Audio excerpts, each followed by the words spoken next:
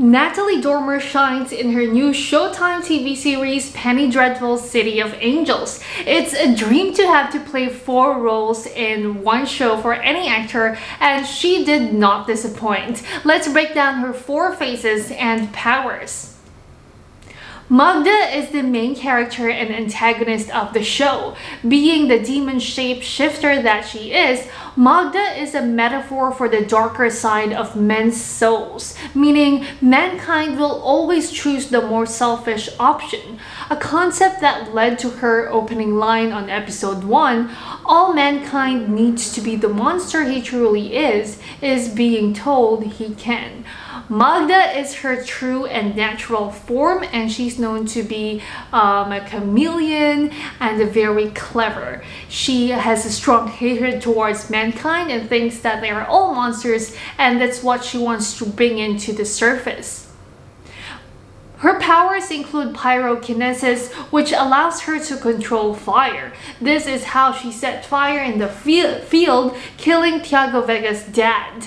As for shapeshifting, she can take any appearance she likes, change her hair, eye color, etc.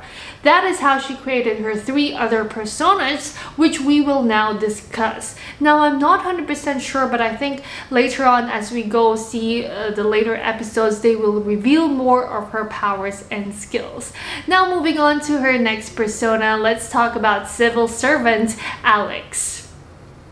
She is an assistant to Councilman Charlton Townsend, has gray hair with big round glasses and a bit more masculine, and a character you will never imagine Natalie Dormer play.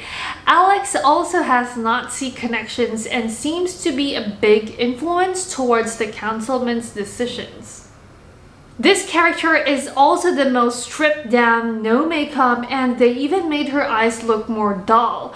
Now, what really amazes me here is Natalie Dormer's versatility as an actress and her impressive change of accents. I mean, come on, that's a skill not everyone can do. I think here as Alex, she has more of an American accent if I'm not mistaken. Next up is German housewife and refugee from World War I, Elsa. Here she does a German accent which shakes me to my core. She also has Nazi contacts, seems to be a more delicate character but ambitious.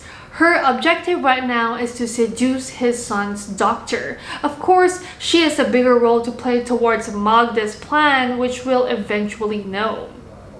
Lastly, we have red-headed bisexual ringleader of Chicano gang called Pachucos, Rio.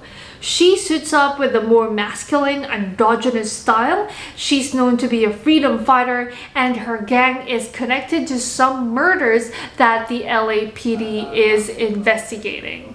Now those are all the four faces of Natalie Dormer in Penny Dreadful City of Angels. Of course, we all know that these four personas will work together towards Magda's plan and what that is is something intriguing that we should all watch out for. Now this plotline really reminds me of season 3 of Westworld's plot where um, Dolores made other Doloreses in the form of other human beings and human faces and it really mirrors this plotline here in Penny Dreadful City of Angels. Now uh, episode 1 is a bit boring for me, it's a bit too long and it took me some time to really appreciate it and know what I'm watching because I wasn't familiar of the Penny Dreadful storyline prior to this. Now, which faces of Natalie Dormer do you guys like the most? Which character, which uh, persona do you resonate with the most? Let me know in the comment section below